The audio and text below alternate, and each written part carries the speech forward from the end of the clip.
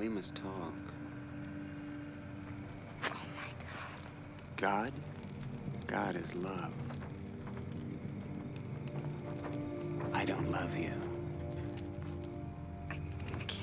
I can't do this. I can lay you out and fill your mouth with your mother's feces. Or we can talk.